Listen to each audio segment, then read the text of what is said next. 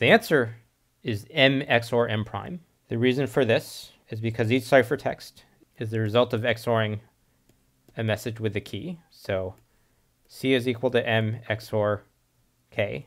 C prime is equal to M prime XOR K. Note that the K is the same in both cases. So if we XOR C and C prime, that's going to be M XOR K XOR M prime XOR K.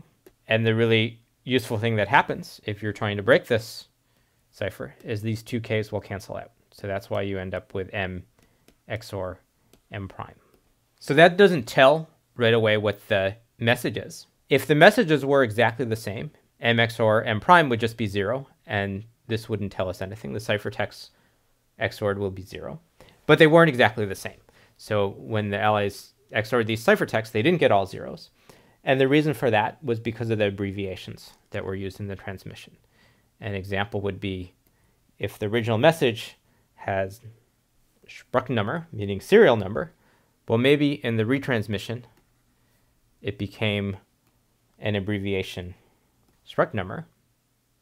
And that would mean, well, the places where the letters start to be different, we start to see differences between the ciphertext and the ciphertext prime.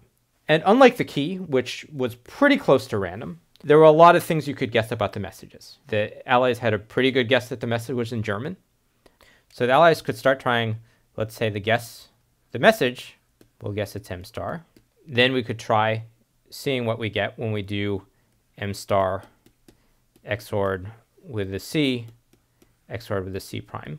So we can make some guess for the message, try XORing it with the intercepted ciphertext. That should give us back the other message, and we'll look if that looks like a possible message. This is definitely a, a painstaking process, but something that, that can be done.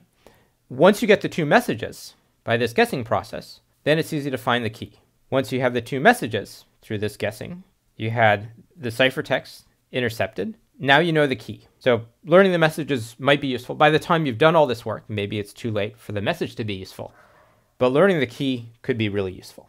So this was done by Colonel John Tiltman, who took these two intercepts and determined the key that produced them. And they had a, enough content here that there were 4,000 letters in the intercepts, so they had a 4,000 long key. And this key was given to Bill Tutte. This was his first assignment at Bletchley Park, was to try to make sense of this key. And after about six months of work, he was able to determine the machine structure that produced that key.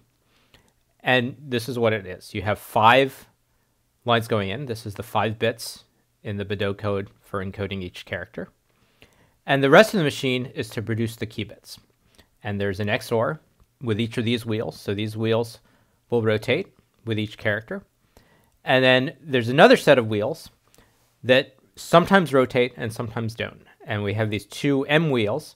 Based on the result of XORing the M wheels, either all of the S wheels rotate one position for that character, or none of them do. And this was really the biggest weakness in Lorenz cipher, was that the S wheels all moved at once.